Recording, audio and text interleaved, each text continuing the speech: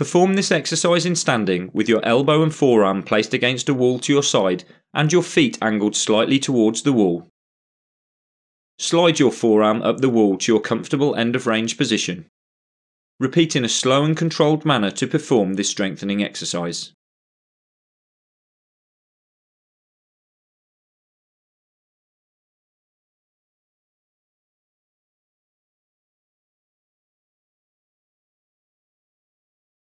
Ensure your forearms remain flush against the wall as you begin to fatigue.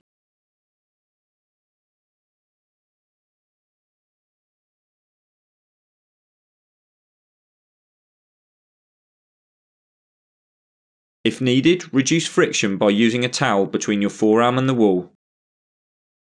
When performed correctly, you should feel tension in the rotator muscles of your shoulder blades and the deep external rotator muscles of your shoulder.